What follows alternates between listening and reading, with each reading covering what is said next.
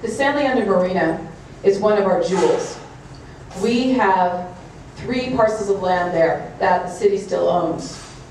We need to bring development to the marina that's going to be sustainable, that's going to be viable, that's going to bring an additional income into our city constantly so that we can sustain our marina. Our marina is, uh, right now, our budget is a four to five million dollar deficit. And just to do the dredging, it would cost the city more than $15 million. We need to make sure the community is involved with any decision that we make regarding the marina and let them know how it would impact any other services that are now being um, budgeted by the city. Given the re-estimated costs of a full dredge as presented to the council last month, right now, a full dredge does not pencil out. Even if you exclude the deferred maintenance portion, assuming you can get that from Calvote loans and elsewhere, a full dredge is still going to cost over a couple million a year amortized, and that's if you get permission under the AB 32 guidelines to have that number of truck round trips.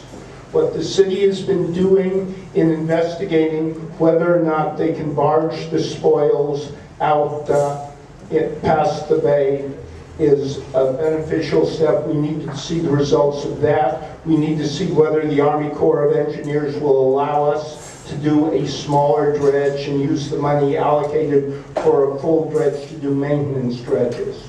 Right now, it doesn't pencil out, but the city's making all the right moves and investigating the possibilities to see what else can be done.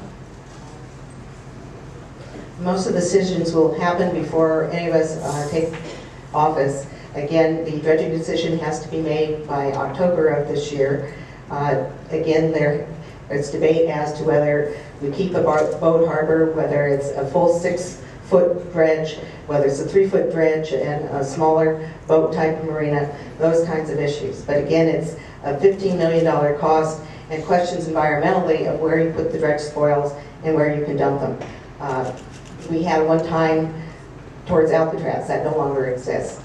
Uh, We need to continue to develop our shoreline, uh, keep our recreational assets. You know, we have the dog park proposal that's going on, and enhance those who use the shoreline. I certainly use the walk many times uh, during the week. And then the third part is the revenue sustaining, what kind of business development? Again, we're down to five master developers, that's my understanding. And so as a city council, we will have to look at those projects. Again, uh, part of that is community participation process, but we must sustain, we are in deficit in our marina fund.